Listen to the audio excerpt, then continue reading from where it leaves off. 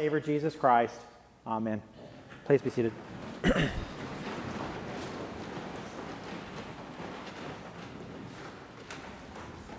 I'm sure you've noticed this if you've been uh, paying uh, attention to what's going on in the world, you've been uh, following the news.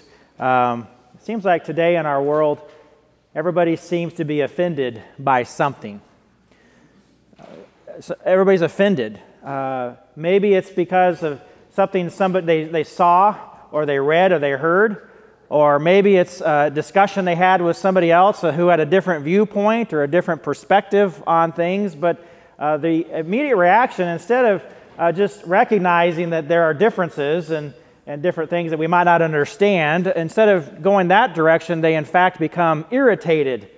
Uh, they become outraged. They become offended, and they want to do something about it. And so they would like to uh, silence those who might say something different than what they believe, or they want to cancel uh, those things that might offend them, that might irritate them, that might hurt their feelings a little bit. We've seen it. Uh, this uh, this uh, nation now, of course, that's offended by everything, and it's not just by what uh, people say or what people do. It could even be being offended by things. Um, a preschool toy in the shape of a potato. Children's books or a children's uh, cartoon that features uh, police dogs and uh, uh first responder animals, uh, or, or, maybe um, talking or singing puppets, maybe rice and beans and syrup and even pillows. Apparently, there's no shortage of things out there that can bring somebody some great offense. We live in a society that seems to be offended uh, by, by everything and everyone. And uh, it's a strange world in which we live. But here's a simple fact for us as God's people, as Christians it's only going to get worse. It's only going to get worse for us. You see, we have a message to proclaim that is highly offensive to the world. The apostle Paul says the message, the message of the cross is foolishness to those who are perishing. The message of the cross is foolishness. It's offensive to those who reject it. But to those of us who are being saved, the message of the cross is the power for salvation for all who believe. But the message of the cross is offensive to many people today. And we might wonder, why is that? How could the message of the cross be offensive? I mean, isn't the message of the cross about God's love and, and how Jesus loved us, that he would die for us? How could that offend anyone? Well, it's offensive when we realize why Jesus died. Jesus died on the cross for our sins. And we live in a world where no one wants to talk about sin anymore. We live in a world where people try to believe that sin doesn't exist because sin would imply that there's such a thing as some absolute moral truth that exists outside of ourselves that we have to follow. If we don't, then we sin. We live in a world where people don't want to even talk about sin because that would mean there's truth outside of themselves, and it's not about what they feel and about what they think and about their desires, but rather they are accountable to something outside themselves. And we live in a world that doesn't want to talk about that anymore. There are people in the world that just don't want to believe that sin exists, exists. That even though God has written His law upon our hearts and the hearts of all people, and even though God has revealed this absolute moral truth of His law in the Holy Scriptures, there are those who reject God. They say that God doesn't exist and no moral truth can exist. Therefore, I can do what I want, when I want, however I want, there's no such thing as good or bad. There's no such thing as right or wrong. Many people live their lives thinking that sin just simply doesn't exist. But whether they believe sin exists or not, the truth remains. The truth of God's word is clear. God does exist, and He has revealed His law to us, and we are accountable to that law. Whether we think we are or not, we are accountable to that law. And God has told us very specifically that if we break that law, which is a sin, if we break that law, there are consequences. Whether we believe it or not, there are eternal consequences to sin. And God clearly says, He that sins, so shall he die. God clearly says, whether we believe it or not, the wages of sin is death. That's the message of the cross. The message of the cross is that God says clearly sin exists and the consequences of breaking the law, the consequence of sin is serious. God is serious about sin. That's the message of the cross. That's why Jesus died. You know, Jesus, who was perfect in every way, who fulfilled the, the requirements of the law, never strayed, never sinned, Jesus was willing to pay the price for our sins. Not just our sins, but for the sins of even those who reject him. Jesus was willing to pay the penalty and the price for our sins. He was willing to die for our sins, not just an ordinary death, but the worst possible death of all death on a cross. Jesus willingly endured the cross and everything that it entailed the suffering, the torment, the ridicule and mockery from the religious leaders, the anger from the Roman government, the hostility. He endured it all. He endured the whipping, the flogging, the crown of thorns, the nails. He chose every bit of it. He humbled himself and became obedient to death, even death on a cross. And on the cross, he was stricken and smitten and afflicted by our sins. On the cross, Jesus was an offense to the religious leaders who wanted to cancel him. He was an offense to the Roman governors, the Roman government who wanted to destroy him. He was even an offense to the heavenly Father. Because Jesus had become sin. Your sin and my sin, the sins of all unbelievers, the sins of the entire world. Jesus became sin on the cross, and the Heavenly Father forsaken the Son. And on the cross, Jesus was canceled. He was canceled by our sins. He gave up his life as that sacrifice for the punishment that you and I deserve. He gave up his life on that cross for us. The cross, the message of the cross is that sin is serious and it deserves serious condemnation and, and judgment. And Jesus experienced that serious consequence on the cross death. But the message of the cross is also the message of the empty tomb. Jesus did not stay dead and buried.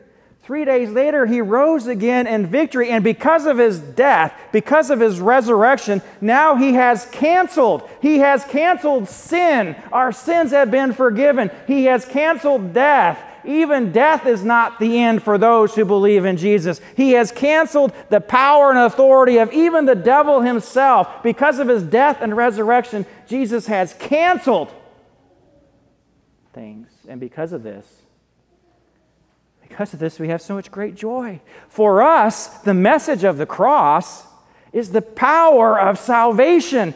God, in His grace through the Holy Spirit, has taken this message of the cross, the message of the uh, cross and empty tomb. He's taken that message, He's uh, proclaimed it to us, and by the Holy Spirit, we believe it. We hold it to be true. We build our lives upon this message. The message that God would have all people to be saved. And how will He have all people to be saved? Through the message of the cross. And so the church continues to proclaim this message, continues to proclaim Christ and Him crucified, even in a world that doesn't want to hear it, even in a world that's offended by the message of the cross. Even as we live in a world that wants to silence the message and cancel the cross, this has been the case throughout all of history.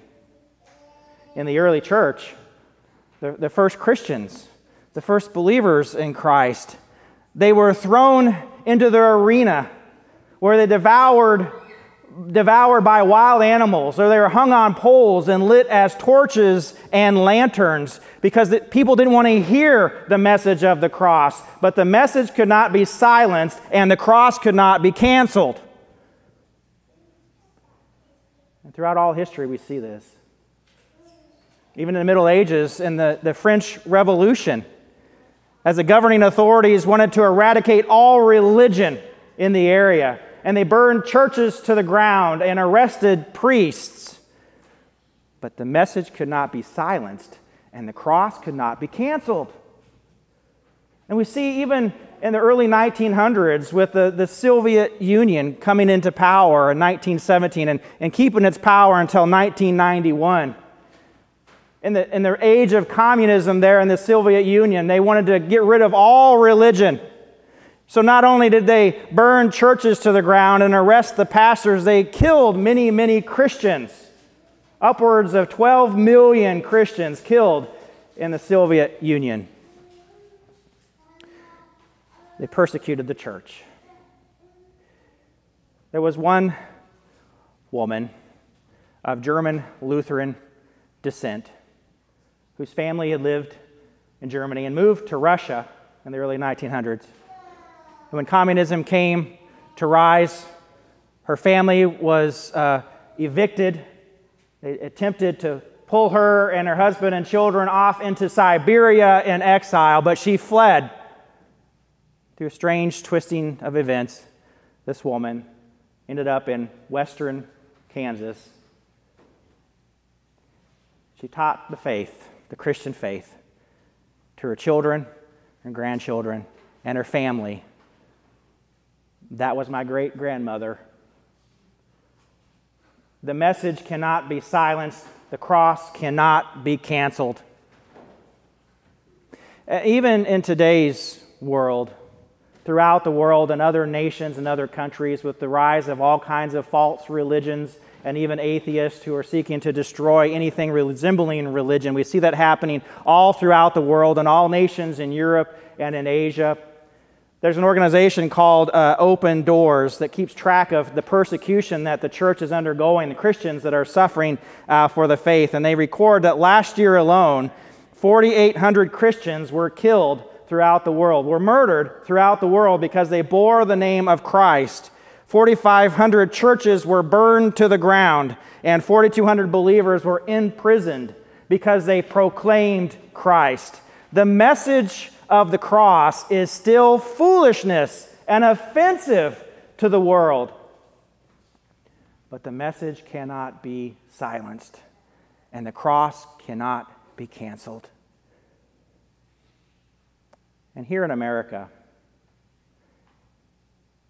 we would be fools to think that we will be immune to this type of persecution.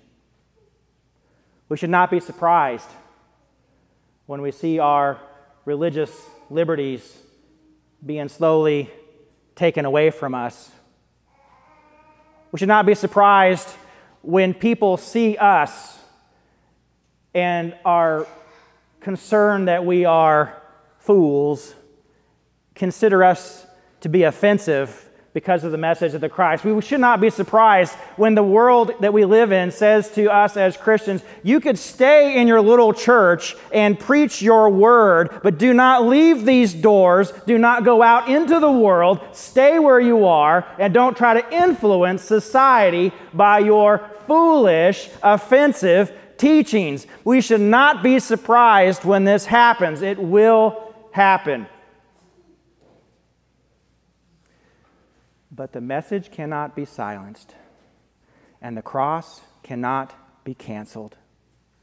As a church, we will not back down. We will stand our ground. The salvation of the world depends on it. The salvation of people depends upon it. We must go out into the world and fulfill the Great Commission to share the gospel, because it's only through the gospel, it's only through the message of the cross that people can be brought from unbelief, the foolishness of unbelief. It's only through the message of the cross that they can be brought to the light of salvation. And that message has to be proclaimed in our age and in every age. That message must be proclaimed because it's only through the gospel that salvation is given, the power of God is given. So we will not back down, we will stand our ground, and we will not stay here within these walls. We will go out into the world, into our homes, and teach our children and our children's children the message of the cross. And we will have those relationships with our coworkers and people in our community, and we will look for opportunities to share the message of the cross. And we will go into the civic realm, and we will make sure that we have a voice that voice that, that proclaims Christ crucified. We will do these things. We will keep the Great Commission. We will share the gospel with the world. We will not back down. We will stand our ground and we will lift high the cross. Because the cross, the message of the cross, proclaims that God so loved the world we will lift high the cross. And that message cannot be silenced. And the cross cannot be canceled. Amen.